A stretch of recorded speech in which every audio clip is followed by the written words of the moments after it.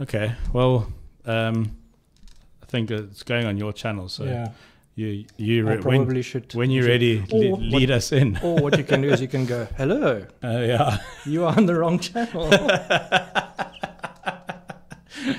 Hello. Sorry, we have a What a limp, start. limp microphone stand here. It's a good It's start. Like my Subaru sun visors. Floppy sun visor syndrome. Let's start there.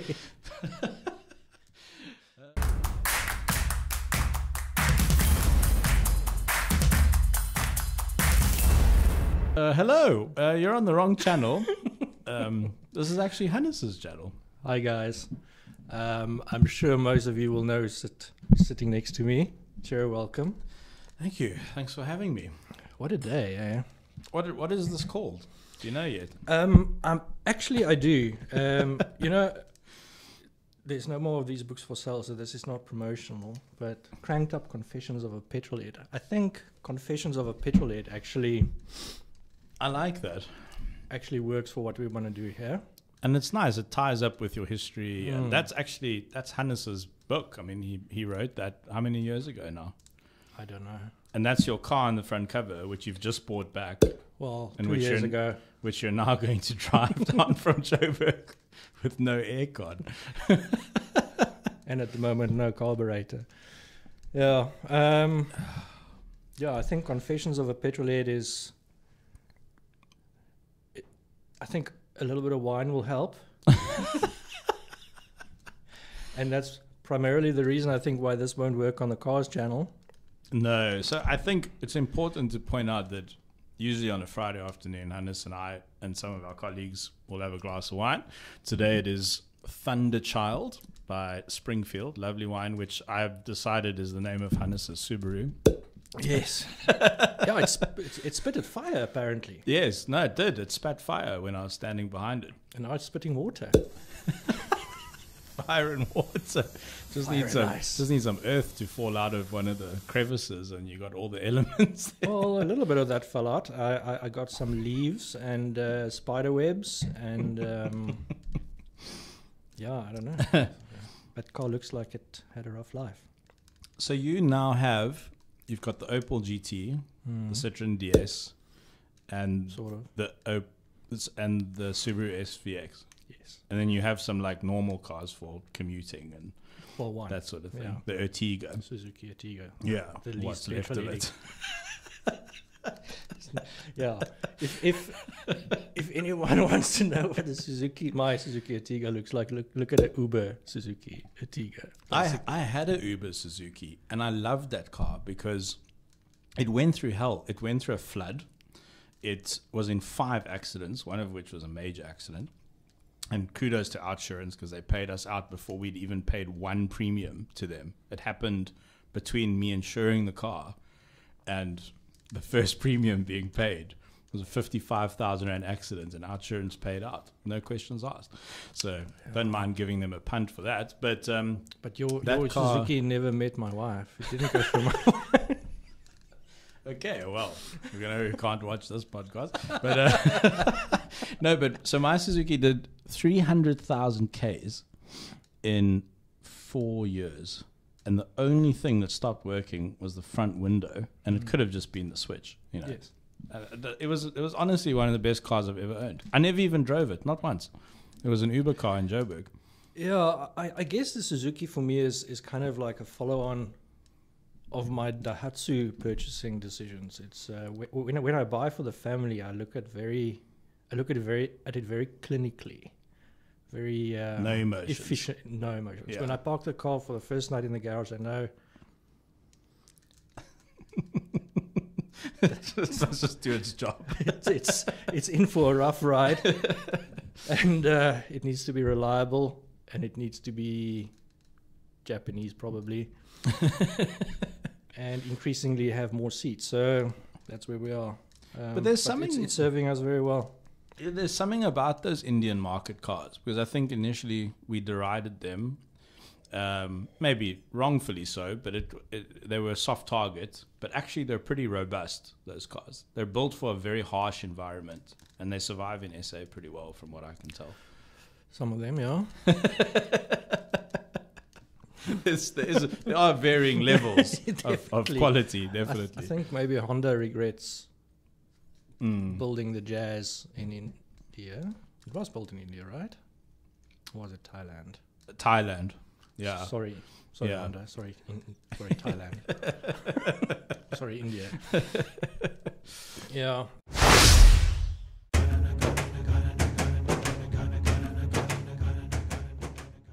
Um, well, I still drive test cars, thankfully. Um, but yeah, let's let's talk about your cars for a little bit because uh, you made a late start sure? on, on, on, on, on classic car ownership, but you've my word, you've uh, rapidly caught up. Yeah, four four of them for my sons. Um, Lexus LS 400 was the most recent purchase.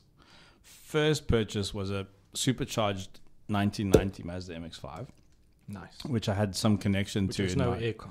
Yes, no aircon as you experienced today. Um, just supercharge a, charge a wine to keep you distracted from the fact that you're boiling to death. Um, and then I actually sold that car to pay off the E E39 M5. But then the guy I sold it to, I told him it was a very reluctant sale. I said, if you ever want to sell this car, please phone me first, which he did six months later. He had driven it three times. He had two, two other Miatas and 20 other Porsches or something. And he said, Do you want your car back? And I said, Yes, please. And I phoned the bank and I said, I need to buy my car back, please. Because I didn't have the money.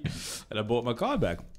And then somewhere in the middle of all of that, uh, the RX 7 came along. And that was just a pure, that was pure motoring lust. Like, it's the only way I can describe it. I just, for me, it's just one of the best looking cars ever. And, and I knew their reputation. And I said to myself, well, if it breaks, then I just stare at it and I'll be happy. It's And- sculpture. Eh? Yeah. And I was right.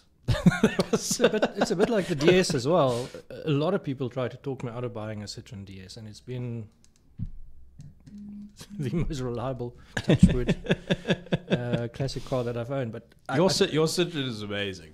I don't, I don't know if I don't know if anyone knows, but I did a thousand miles in Hannes' Citroen, and it was pretty much flawless. The worst thing was that it had no aircon, so I had to keep the windows open. So we had two bee attacks. That was probably the worst thing It's that happened never in the Citroen. But a thousand miles in a fifty-five-year-old car, him. I don't know, my mathematics are a little bit wobbly. Yeah. It's a, it's a 67 model. It's quite Yeah. old. So it's 10 years Yeah. older than me. So it's No, that car impresses me every day. It Yeah. really does. The DS. beautiful. But I think the thing that you touched on there is, um, and, and, and advice that I can give petrol heads is never sell a car you bought because you liked it or Mm. loved it. Yeah, I know. I learned that lesson the hard way. Every the the day I dropped off that MX-5, it was horrible. It's one of the worst days of my car ownership life, of my whole car career. And then the day I got it back was one of the best days. And all the days in between, I was just really just upset that I didn't have it anymore, and then worried that it was getting damaged. And It's the same. yeah, Yeah, the, uh, the the Opel GT I, I bought back in what was it now? Just just as COVID kind of hit. I haven't seen it since, and it's kind of oh yeah, it's stuck in Joburg. Yeah. stuck in Joburg. Yeah. Well, the Opel GT, I mean, I don't know much about it. Were, were they was it quite a limited numbers car? No, they made uh, a decent number of them. It, it was quite popular in America as well. It was sold through the Buick dealerships. So actually, I think most of them ended up in the states, and that's where I could. How many in SA do you think? So nobody knows. Um, you couldn't buy it from an Opel dealer. You had to go. It, it was either Williams Hunt or Reeds. Oops. So this this is um, let's let's take let's take that call Yes. because Hannes's car is currently. hello. I'm good, thank you. Are you? Yeah, is it ready? Okay, I'll be there shortly. Ca- sorry, can you jumpstart it for me so long? Oh, is it started? Yeah, it does. Okay, I'll be there shortly. Thank you. Oh, it started without jumpers. It started without jumpers. Oh, fantastic. Progress. Thunderchild is alive. Okay. I'll see you shortly. Thank you so much. Cheers. Bye. Right, we'll have to cut this podcast short. Um, this is Subaru's alive. look, um, I don't know. I, I would like to see how long it will idle before it starts pissing water all over the floor again. But Yo, you've had a day, hey? I, I, I think my favorite part of the day was that the the oil filter on your car, which which they ordered specially for you, didn't fit, and then they made a plan and they found an identical one made in Germany for the Hyundai i10. it's not a great. yeah, I love that. I Mm. love that. yeah, it's not something I will tell somebody over a braai about my car. To be honest, the fact that it was, that it has We'll edit this part Nis- out. Nissan NP300 brake pads, No, you- which I, I don't know. I still don't know what I'm going to be charged for this, but I just want to add. Maybe don't buy brake pads and discs from Subaru. But I think today, with your with your experience now, so so the Subaru brake pads from Subaru are going to cost you eight grand. Cost you a fraction of that for the identical hmm. part. but they also want eight grand for, for the, the discs. discs, right? And they just skimmed your discs, so they saved the discs. But what I learned from from your experience today is that sometimes with classics it is tricky, but sometimes you get lucky, and sometimes you find the Yes. perfect oil filter, and sometimes you find you know, and and and I think there's a lot of fear with classic collection, but it's not that bad. Like when my when my um, so the power steering pump went on my Lexus, and so began the great pump hunt of 2022, and and um, and I I I found one that was being scrapped. The guy wanted 15 grand. We sent the steering rack off to be recon so long because that's where the leak was, and. Uh, phoned Lexus, 20,000 Rand for a pump, which is exactly a third of what I paid for the entire car. And then I went on Amazon. There was two pumps available. One was one was made in the US, one was made in China. The Chinese one was suspiciously cheap. The US one wouldn't ship to SA. So you So bought I the paid, Chinese one. yeah, so I bought the only one that was available. A wine. Yeah, yes. And now I have this moaning Chinese pump in my Lexus. Every time you sort of fuck, it's like, hmm. Mm, Well, like Maybe you should order two. subtle- I nearly did order two. But but what was so impressive was I went um, on Amazon.com. I paid for it. I paid an extra twenty. It was hundred dollars, sixteen hundred bucks. I paid twenty dollars for express shipping. It was at my front door in six days from America, and went in the Lexus, and it's been fine ever since. I very nearly bought two just to hedge my bets. But um, you know, so so sometimes you know, if you want to keep these old cars on the road, you have to just you know get a bit creative. Get I think you Get some you Nissan also- yeah, brakes Yeah, you need to build a network as well of people who know things. Um, I I learned today that you know one of the major concerns with Subaru SVX ownership is that at some point the gearbox is guaranteed to fail. oh, nice, that's exciting. That is uh, because at the time when Subaru built it, that engine was so powerful they didn't have a. That was the only gearbox that they thought could handle the torque, but actually it couldn't. And so Oh you, you you can expect about 120,000 k's out of it, and then oh dear. it goes. So my car's got over 200,000 k's on it. I don't know. On the original gearbox. Oh, I, well, this is the thing. I, I don't know. But what Alec found out today, looking underneath the car, is that that car's gearbox has been done. So it's already had the failure. Ah, okay. So it's like a. Ah, okay. You see, maybe I'm in for number two soon, but you know. Um, another part of classic car ownership, you might get lucky and the guy before you fix the problem, and then you benefit from their pain. but I also, I think uh, you know, Hannes and I have been quite lucky because I'm. This guy reached out to me on Insta, and then we met up. And he, his name's Alec. He owns a great workshop out in um, Montague called Monix Performance Center. Check them out on Instagram. And he really looks after, after us. I mean, he does all my cars, my RX-7s with him at the moment. Trying to fix that. That yes, what's that wrong with that? Oh, that car tests my patience. Well, the first thing's wrong wrong with it is me because yesterday I was pushing it out of the office and I revert and I pushed it into my colleague's Porsche. I, I think I, th- I think maybe we're setting up this podcast wrong. I, th- I think what we need to have is like constant CCTV cameras in the office and just record non-stop because we would cut the show together. It's like Man, a comedy of errors most days. I think I learned also learned I've learned a lot this week. Yesterday I learned don't push a car backwards by yourself with no one spotting you. I mean, I had the door open, and Justin's 928S was just there, and then I heard, Mm, I heard it as well. yeah, It and sounded was like, expensive. yeah, it did sound very expensive. Thankfully, though, the 928's bump is plastic and it sort of moved with the force, and then all there is is a, is a tiny, tiny scratch, which I will fix for Justin. I mean, it's not, not nice to damage someone's car. That was a terrible, terrible feeling. But anyway, jump started the RX-7. It's it's had this intermittent issue where on full boost it just cuts cuts the spark and it feels like you've driven through a shed. Like it's just you're going, it's full boosting. There's all 320 kilowatts are coming out of that engine, and then bah, it's like this. The whole car shakes. It's very violent and quite scary, and it sounds like it sounds very expensive. So so Alec's troubleshooting this for me. Um, so driving to Alec yesterday. So I jump jump started the car using an RS3, which was we should have taken a photo a photo of that. Don't And then-. Sorry. No, nothing. Never mind. And then we, anyway, so the only way to get into Alec's shop is to do a, a right hand, a right U turn on Montague Drive, which is one of the most busiest, hellish, Terrible horrible road, yeah. industrial roads in Cape Town. And this thing dies midway through the U turn. And I roll over an intersection on the, the actual where the stop is painted. I'm now on the stop with three cars trying to get out of that intersection. Guys start hooting, car won't start, battery's dead. It's not the most inconspicuous car. No. So my first my first day of RX-7 ownership was being pushed back into the office because I flooded the engine, and then mm, to, yesterday was being pushed into Alec's workshop by his mechanics because the battery was dead. Anyway, we've replaced the battery, so that problem, that problem's gone. I'm probably gonna have to run and save my Subaru from overheating, uh, catching on fire or something. um, but we can continue. Yes, I think uh, this has been fun. Let's have a Um, wi- let's have a um, refill break. Okay, should we pause? Yes. I'm going to pause and pick it up. Yeah, why Okay, all right, let's do that. All right, part two.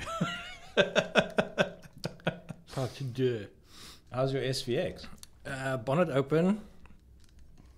And um, looking for a long extension lead at the moment. Got one for you.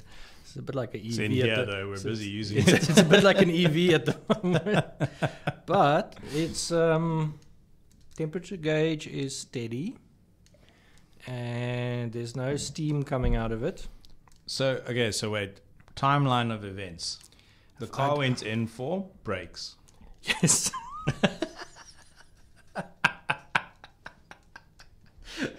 You did Okay, a you actually, did an oil change. We can do the timeline a little bit further back. the car went in for a wash. and there was no noises. And uh, you actually drove the car back, and you said to me you wanted to comment on how quiet the car is. It was ran beautifully. No Yeah. problems. Yeah. And then on the Saturday, I decided, okay, I'm going to have a nice drive out to Camps Bay. And when I pulled out of here, it looked, it, it felt like the wheels are going to fall off the car. so, I don't know. No warning signs, no squeaks before, just from zero noise to metal on metal rocks grating sound. Anyway, so it is metal on metal. It was metal on metal. Yeah, Alex, Alex Yeah. Um, uh, chief guy there made me laugh. He said, he said to me, it wasn't that the car was making a noise; it was that there was no brakes. I, I don't know. I, I drove it quite enthusiastically around the Camps Bay area, um, along the coast. It was very noisy when I braked, but still stopped. So just the the cal- the, the the brake shoe just digging into the disc, basically. well, the, the, the pad's basically broken half. Yo. Yeah, and I think they were sort of Oh, vi- vibrating, whatever. Anyway, it was a disaster. We got, we went there for brakes. Then became the hunt for brakes, which nearly gave me a heart attack when Subaru told me what the brakes would cost.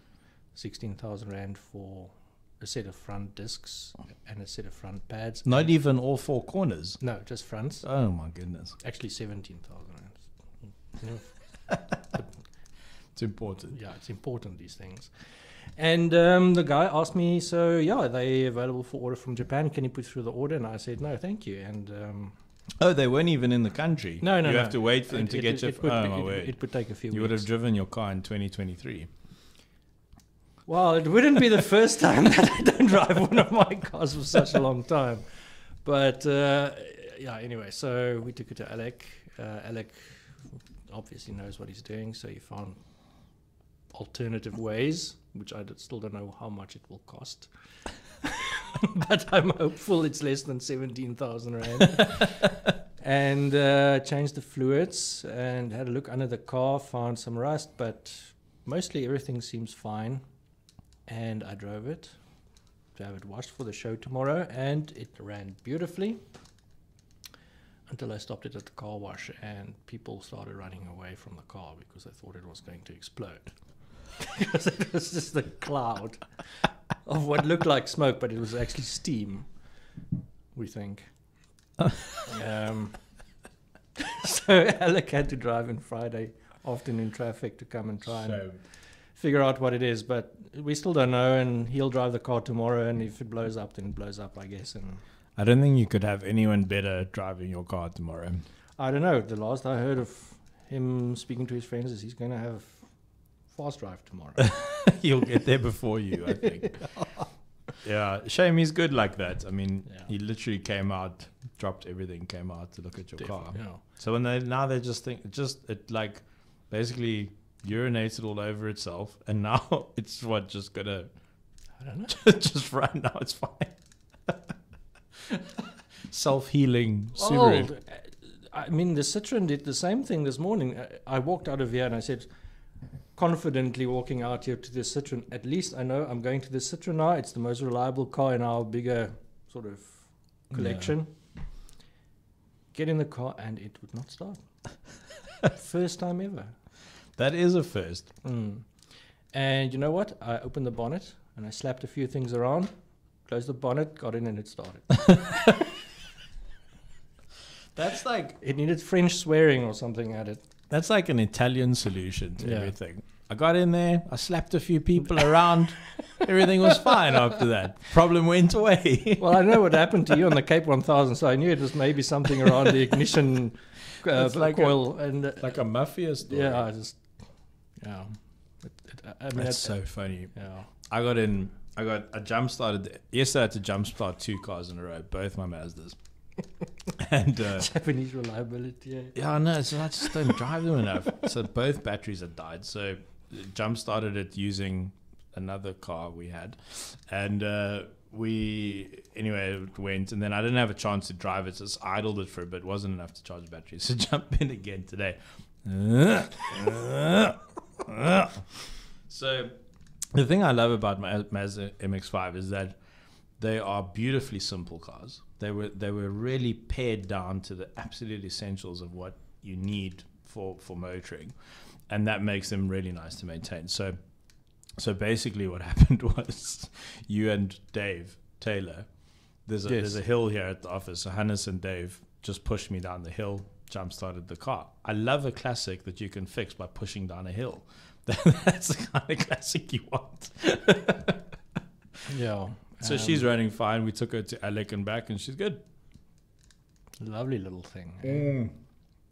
Yeah, the, it's the only downside of that car for me is the no aircon. But but apparently, what happened was they never sold it with an aircon initially. Initially, and then the the supercharger kits that started coming out for them, one of which was developed by Mazda actually and sold in Japan by Mazda Speed.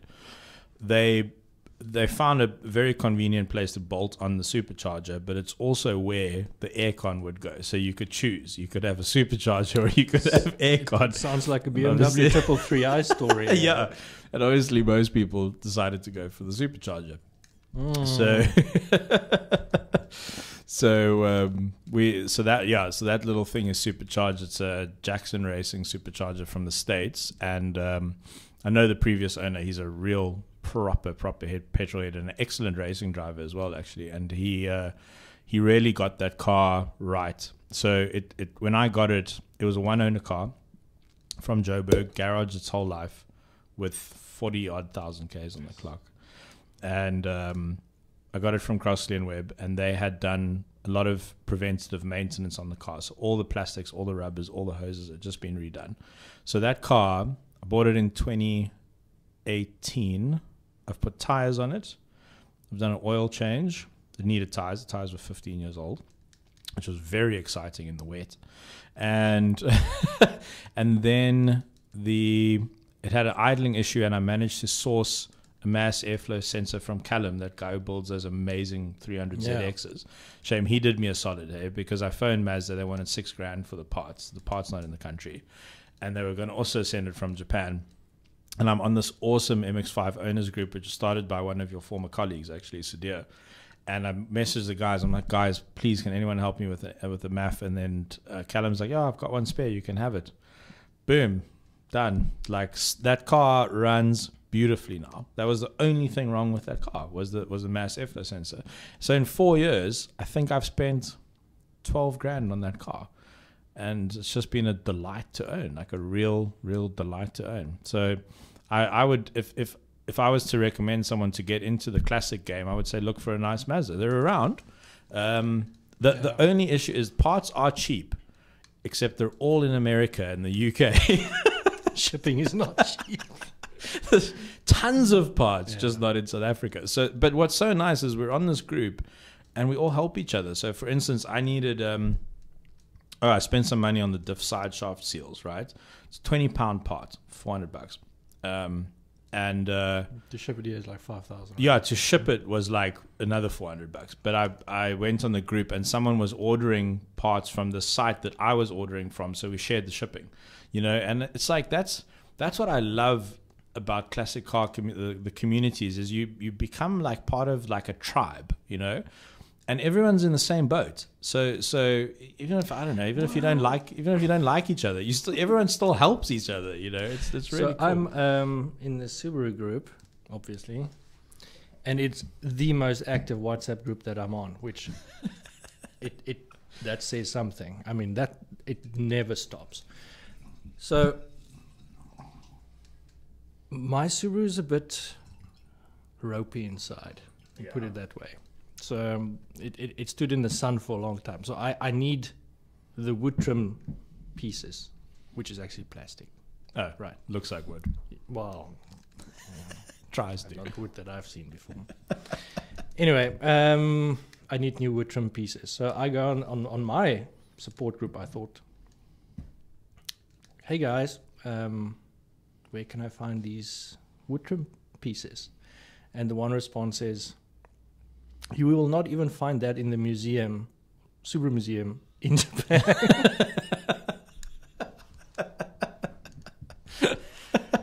okay, so. Uh, Some some people break into museum to steal art. Hannes breaks into museum to steal a, an SVX plastic wood trim so, for his so I, dashboard. so I, I, th- I think the only option that I have is to buy one of the only other SVXs in the country because they're so cheap, and amalgamate. there is one the- for sale. the- eh? I know the, the the ultimate SVX from the parts available in South Africa, and turn the other one into that.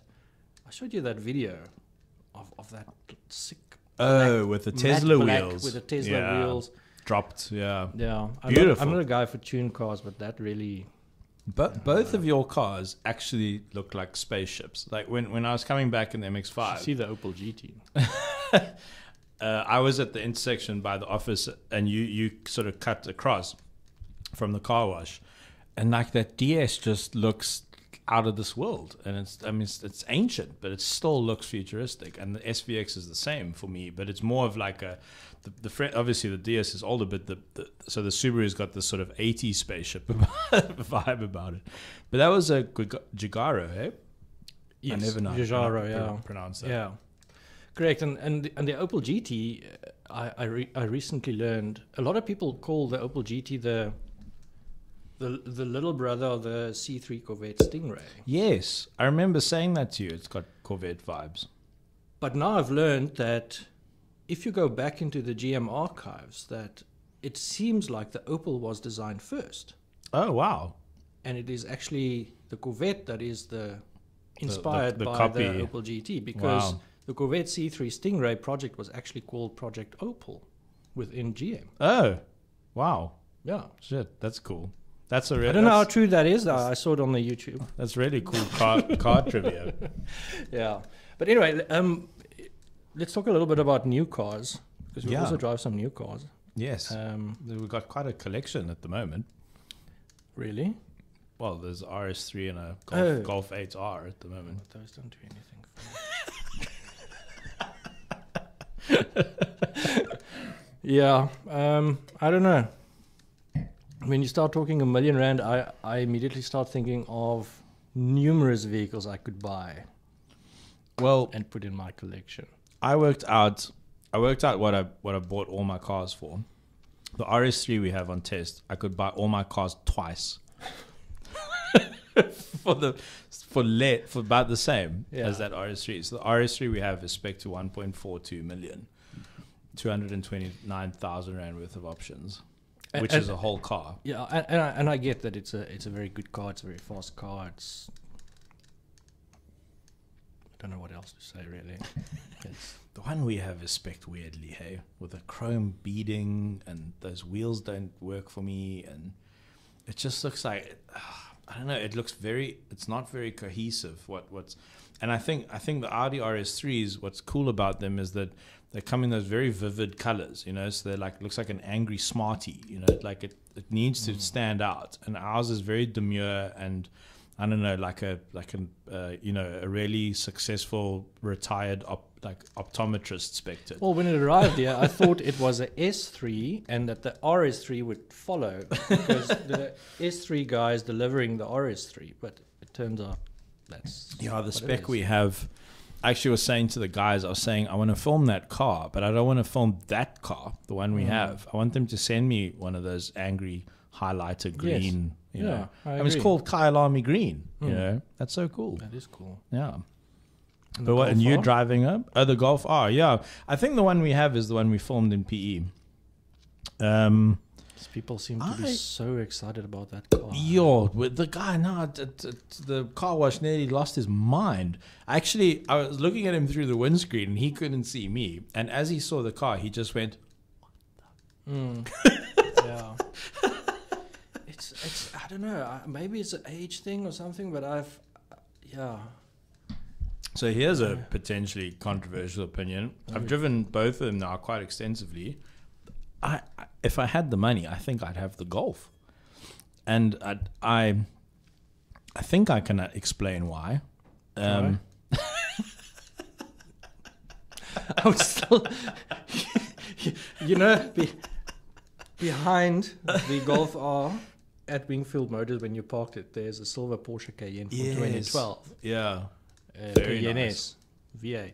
Cayennes are starting to appeal to me a lot. 430,000 Rand So less than half of the price. Of the Yes, Golf. worth 130,000 Ks on. Wow.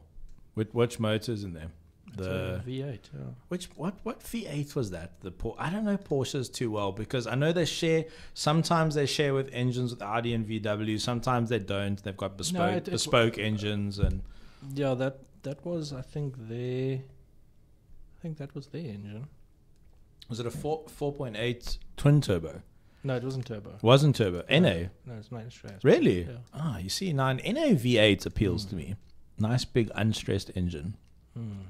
So a friend of mine, you know Mark, he he's looking. So he's a he's an off roader kind of guy. So he's got free two Freelanders, and he um he found this Cayenne, and he's been inspired by guys who are starting to get into these like Gen One Cayennes. And he nearly pulled the trigger, and before he did, he phoned around. Porsche Porsche service was a third of the price of his Land Rover service, a third, and parts seem cheaper as well than Land Rover parts. Yeah, it's kind of the feeling. I look. I would still love a, a, a Disco Four. Oof, I love a Disco I, 4. I love a Disco Four, but I'm shit scared to be Mm. honest. Uh, so I, I'm increasingly tempted by a Cayenne like that, a second gen Cayenne. Do you like the a- second, eh? Yeah, The I, I, I think I think the the they made a big step from Cayenne one to two, and from two to three it wasn't such a big step. So the Cayenne two actually still looks Mm. like quite modern and cool. but I, it's just such a lovely car to drive. It's rock solid, and and to be honest, I think I need a um, Like reliably recreational. five seat. You've got Go. kids with surfboards and I do kids and bags and with friends with surfboards and rabbits and chickens and a cat. you you have unique car owner problems. I do. Got to transport a chicken coop every now and then. December, December holidays is uh, a massive challenge. If you I have, I have to take my hat off to Ash, who organizes me a car every year. if and, you and when he can't, then the Ertiga steps in. But yeah, it's a challenge. Yeah. if you buy a Cayenne and you transport chickens in it, we have to make a video about that. That is uh, hilarious. So, how old do chickens get?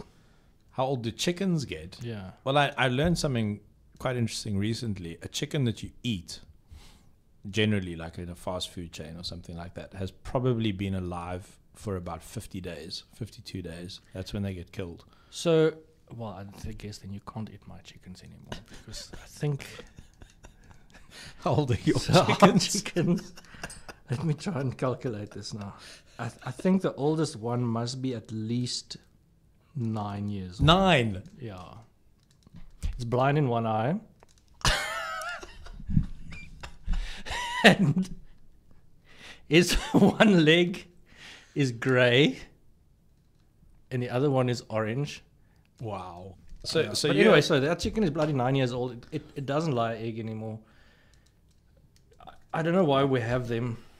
I wish somebody would steal them. to be honest, it's almost it's almost December holidays, guys. Please help me out. So, so but, okay, but wait. Why do? Okay, so let's separate the issues here. You own chickens for No, no, whatever, no. for whatever reason. No, I don't own chickens. Okay, I, I just you're a chicken caretaker. deal with the consequences. involuntarily. Yes. you're a chicken caretaker. Very much so. so, but then why do? What is the what is the reason for the chickens needing to be in a car? Because when we uh, go to my parents for Christmas, Yes. Then there's nobody at home to look after the chicken. So, so, so there is this there's now in the Gourits area a hybrid species of rabbits because we take this female rabbit no initially we took this male rabbit but you know normal like household pet kind of rabbit Yeah. size but the rabbits in Gourits are like freaking with the ears upright they can they look huge Like an Alsatian. yeah, so they are now there's, there's a, rabbit explosion. this is your fault. so, so you take it on the same journey. It's you, the missus, your kids, Yes. the chickens, the Yes. rabbits, the Yes. cat Yes, in the car. in the car. The challenge, and then then you add surfboards, bicycles, ah, I don't think. and, and and remember my wife, you know she likes her vegetables, so Oh, multiple boxes of round things which don't pack well. Yes, that is one of the funniest. I like. I get asked for car buying advice a lot, but if you came to me and you're like, "Hi, Ciro, here's my lifestyle, and here's what I need a car to do," I'd be like, "Sorry, the number you have dialed is unavailable." Well, the perfect car is parked outside. What the Zafira? Uh, Opel Zafira Life, Yeah. actually. That does look quite good, eh? Um, yeah, it's it's the right size, which is the most important thing, because you can take seven people, and and they can be adults, and you have massive boot space, and you have a tow bar.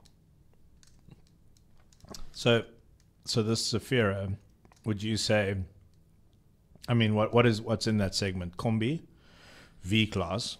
So V class is like three hundred thousand rand more. Oh, really? What's the Zafira? How much it cost? Ni- this one is the top spec, nine hundred and two thousand rand. So it's cheaper than a combi. The combis are over a million now. Yes, The nice ones. the Caravelles. Yeah. Do they sell a Ford Tourneo anymore? I don't think they do. It's still on the list. Is it? But, but I don't know if it's accurate. Because that that and then, and there's the, there's the Staria, which is really nice. The Staria is really nice, and you Yeah. can get Starias with Panel more seats area. or less seats Mm. or luxury or less. So there's more options, and and the, and the, and the Zafira Life's got a weird spec where you you have massaging seats. Wow, Yeah, for both front seats wow. in a bus. So would you? I mean, given your unique requirements, would you actually buy a bus though? Like, would you consider it? Like, actually spending your own money on it? So, you know, a lot of people ask me what is my dream car, and then they expect me to say Porsche 996. whatever GT3. Ferrari 488 Tributo or Pagani's on it, whatever. My dream car is actually a Kia Carnival. That is a very nice car though. yeah. Those are really nice because they're not. The, the driving experience is not bus-ish, not too bus-ish. It's more SUV-ish, It's like but a then you get the space. yes. So it's it's a sophisticated luxury, high tech, all features. I mean, for example, this this Zafira has seven seats, but it's only got one USB port In the whole car. in the whole car. Oh no, that's just an argument waiting to happen. Really. Look, there are 12 volt plugs everywhere where you can put in an adapter, Yeah. an adapter and sort it out. But the Zafira is, I I mean, the, the, the Carnival is just straight off the bat for the money. I think the most car, the, the most value in terms of my lifestyle that I can get from a car at that price. Even with seven seats, it's it's. I mean, the boot at the back it, it goes deep because the, when the seats fall flat, they fall into that hole. Um, So there's like a massive hole. You can stack it high in the in the carnival. in the carnival. Yeah. Mm. So I I um I actually much prefer a Kia Carnival solution to, for example, what most people buy as a Toyota Fortuner or Ford Everest or, or, or those kind of cars because they don't have so much Yeah. parking space for sit. You know, once the seats are taken. Those cars aren't massively practical, but the Fortuner has something going for it, and then you, you have the option to remove that, that those backbench, those two fold up seats completely. With spanners though. Mm. But but then you get that depth, which is nice that Sure. the Everest doesn't have, and the Mitsubishi doesn't have, and all the rest of it. Yeah, but you, I mean, with a Kia, it's kind of you don't even have to think about it. I mean, Yeah, it's the same price yeah. basically as a Fortuner or Everest these days. You know, Do you know what car I liked in that bakkie-based SUV segment, and it didn't last long, was a Nissan Pathfinder. I actually thought that was a nice car, and they're going for. No one seems to want them very much. I found a very decent one for 140 grand, and I was like, that's like a really, you know, that's like a sort of a, like what I call like a throwabout car. Like, if I like pull into a driveway and I scratch it, I'm like, whatever, you know, you you, you don't care Yeah. too much about it. No, you I know? agree, and, and Yeah. and they've aged quite well because of that styling. It's a sort Yes. of blocky and squared off. Yeah. it's quite. They're kind of Ageless, cool. but yeah, kind of- yeah. No, I agree. I like I like them. Good, Um, good motor in that as well. I think you could get you could get the four liter V6, or you could get I think a three liter turbo diesel, which was quite a nice motor. Yeah, the Yeah. diesel is the one to have. But yeah, I agree. You know, something like that you can. Like this video we we released today with uh, with the Cayenne Mm. Overlander. You know, you don't mind it getting a bit of a scratch. Yeah. some road rash and so on. I think that's what I need next. It's nice not to be precious about a car. Mm. It actually makes life a bit more relaxing, to be Mm. honest. It's like one of the reasons I bought the Lexus, although I'm a bit precious about it now. To Just wanted to say because I, that. li- like it so much. But I mean, it's it's already when I bought it, it had a couple of dings. Like there was a couple of dings really annoyed me. The bumper was pretty badly scratched. I had that panel beaten and resprayed. Really good place called Garage Seventy Two in Joburg. I really recommend them. And the boot had a very bad, so so sort of on the corner of the boot, you know, where the like the nine the ninety degree big ding there, and I was like, I can't live with that. That's going to annoy me. So, boot off, fully resprayed, beautiful job. You would never know it's been resprayed. And we had to save the badge, the badge, the LS 400 badge. Gold badge. Yeah, the gold badge, which was an optional extra back in the day, had a crack in it, and the guy said, "Do you want us to try source you a badge?" And I was like, "No," because Can you just super glue it? yeah, so, so we did. We saved it, but because if you like, you've got the the Lexus badge which is faded, right? So it's got this like lovely gold fade to it now, and then you're gonna put this new gold thing on, and it's gonna look ridiculous. It's gonna look like I bought it from I like I got it in a lucky packet or something. So so so like I, I so I'm like, no, please. the boys' lucky packet. Yeah, Oh, you know, oh, like that's that 400. chintzy, Yeah. you know, fake gold. So I said, guys, please try save it, and they did. They saved the badge because it obviously had to come off to spray the, the boot, and then they, they saved the badge for me, and I'm very grateful. And you, I mean, you can see the the crack in it, but it doesn't bother me that much, you know. But but the point is, like, I needed. I was tired of taking Ubers, like. I I don't want to be in like some banged up Etios oh, anymore. God, no. like I'm so done with that. The quality of Uber X's has just become rubbish. Uber Black's pretty expensive, so I'm like, you know what? I want something interesting. I live 10 k's from, excuse me, from work. I just want to be able to get home and back in one piece, and that Lexus is probably one of the greatest cars I've ever known. Like in, all, my dad was a bit of a car guy, and he had Mercs, and my uncle had Mercs, and my other uncle had Beamers, but like. We never had Lexuses in the family, so this is the first time I've experienced people them. have Lexus. Yeah. And it's just, it really deserves all the praise that it gets. The Yeah. motor and everything starts first time every time. It's got 287,000 Ks on the clock. Drove it down from Joburg, no problems. One of the greatest drives. And, and I'm, I'm, I'm not too precious about it, which I, which I really, really like. But my God, is it thirsty. I think it costs me, because I live quite high up the mountain in Sea Point, and I think it costs me 50 Rand to get to Sea Point, and then another 50 Rand to get from the bottom of Sea Point to the top of Sea Point, where I live. that car is awful. When, when petrol was at its most expensive, so it's got an 85 liter tank, I filled the tank. There was there was a couple of, there was one big petrol jump coming up, and I I'm like I'm gonna fill it just before this big jump happens, and I did some maths, and the value of my car went up 3.8 percent with a full tank of fuel. In it. Try try spinning that when you sell the car. Yeah, I could have listed it as a as like a you know an option. Comes with a full, a tank of It fuel, reminds which will last you three days. and this is a confession from the very far distant past, when I just became a motoring journalist. Before I was with Car Magazine, I got, uh, I, I started something called Galimoto Media with uh, Dr. Hans Jesse to service the sort of smaller newspapers who couldn't afford motoring journalists. So this wonder, and you must remember now, I'm fresh out of, actually, I'm still in varsity. So I have a BMW 330 Ci convertible, a Alpha 156 Celly Speed, Test cars, test cars.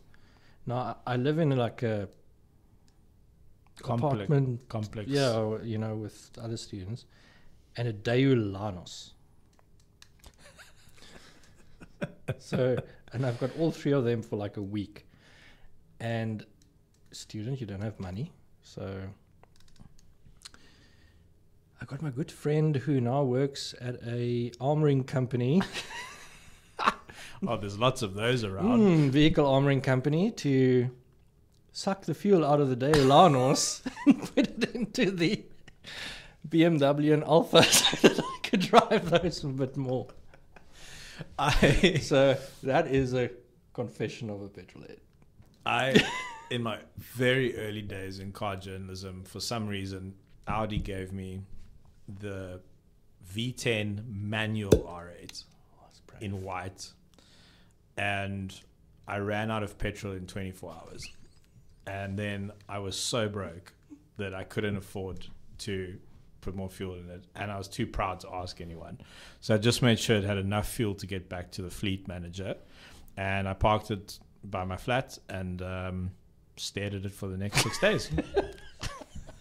It's like owning an electric car basically at the moment. that was that was my R8 experience. But actually, that was my second R8 experience because I had this wonderful mistake happen to me. You know, sometimes in life these mistakes happen in your favor. So um, the the fleet manager of, of that particular fleet, I mean, just really wonderful person. She's been great to me over the years. She phones me and she says, I mean, I think I'm 20 at this stage, 21, just started my website.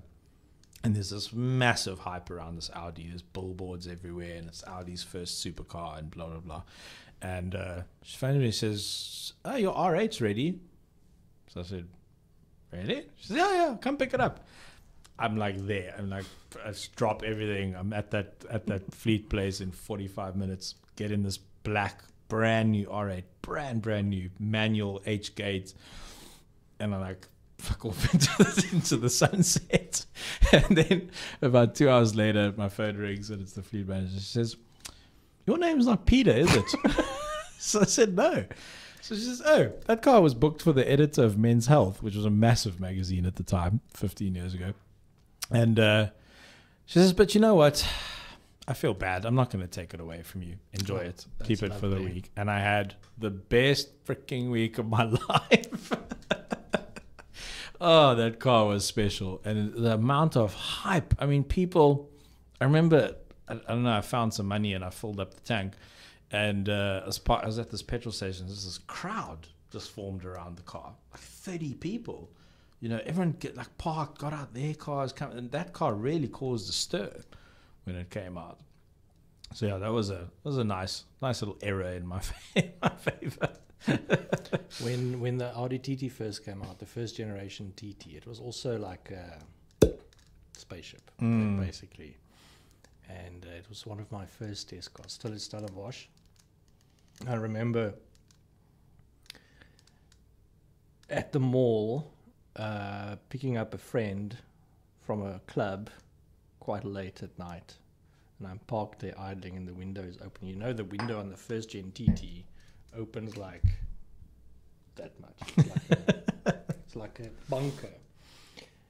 And this drunk Stellenbosch student comes up to me and he puts his arms on the window frame and says, Are you from space?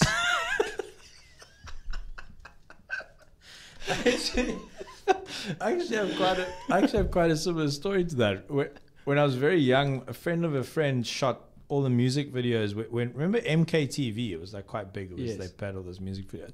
So all those bands like Fokofpolisiekar and A King and Yeah, Devils yeah. Fantasties, and they were all mates. And then we became mates, and I used to help them with their music videos. And then um, they were gigging one night in Stellenbosch. And I don't know Stellenbosch very much. I Yeah. grew up in Joburg. I'm like young. Merc, for some reason, gave me an SL63 AMG, the, the, the one, the That'll big, do it. yeah, the big 6.2 silver, beautiful thing. Yeah. So I'm pulling into Stellenbosch. I'm a bit lost, and I pull into this parking lot, roll down the window, and there's this big. I don't know. I think you have to be of a certain size to go to Stellenbosch University. You have to be like able to pull a plow on your own. I think single-handedly. So this like enormous kid. He looks like he hadn't even started shaving yet, but he was the size of a portaloo. and he and he like leans in the window, and I'm like, hey, I'm like, I'm looking for this place. So he gives me directions, and as I'm about to leave, he goes, "Jere meneer, but jy het 'n fucking lekker car."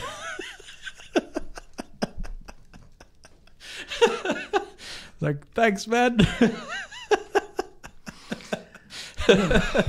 I don't know if he thought I was like, I don't know if he thought I was out of town. It was probably on GP plates because all Yeah, the test cars are on GP Yeah. plates. And, and anyway, he just had to drop that compliment in just before I left. And it actually made my whole night. It was so cool.